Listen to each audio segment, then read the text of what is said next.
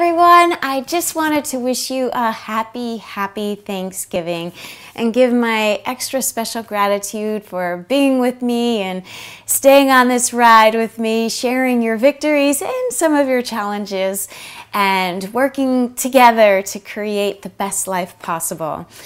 So, as we head off into Thanksgiving, uh, for some, it's a great time to be with family, to have lots of turkey and stuffing and gravy, and, and just have a good time. And for others, it might be a little more anxiety provoking. There might be some stressful travel or relationships or whatever there might be. So, on whichever side you land, I have an exercise here for you that's going to help shift your mindset into a place of a greater calm and gratitude and flatten your tummy so you can have that extra piece of pumpkin pie. so, you ready?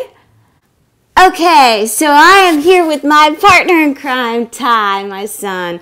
And you can do this with a child, a friend, a loved one, or yourself against a wall. Ideally, grab a ball, or you can do a pillow and tap that. What we're to do is we're to sit back, and as we sit up and throw it, you're to say what you're grateful for. So, you, I'm grateful for. Grateful for an education. Ooh, education. I trained him well. I'm also uh, grateful for your sister Kaya and daddy. Um, I'm grateful for a family. Ooh, family. I'm grateful for my mom and my two sisters who I love so much. I'm grateful for video games. video games. All right. I'm grateful for my health. One more. Make it a good one. I'm grateful for um, shelter. Shelter. We'll take it.